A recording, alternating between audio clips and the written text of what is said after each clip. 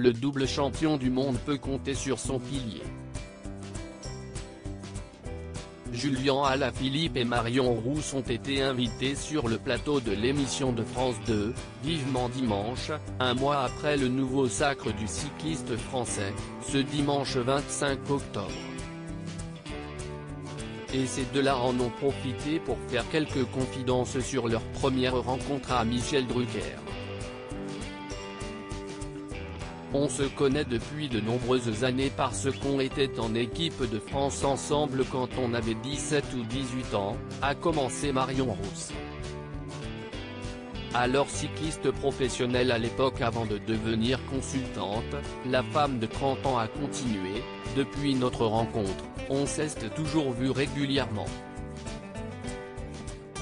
Après avoir fait un bout de leur vie chacun de leur côté, les deux tourtereaux n'ont pas tardé à se retrouver. Et ils partagent leur quotidien depuis maintenant un an, avant d'avoir donné naissance à un petit garçon, Nino, en juin dernier. Marion Rousse, j'ai du mal à contrôler mes émotions alors que la saison cycliste de Julien Alaphilippe vient de se terminer de la plus belle des manières avec le deuxième titre de champion du monde de sa carrière, Marion Rousse n'a jamais été aussi fière de son homme, c'était un moment vraiment particulier.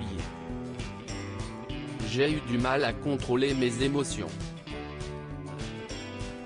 Le matin de la course, je me suis même dit qu'il ne gagnerait pas la course, que ce serait quelqu'un d'autre qui serait champion du monde.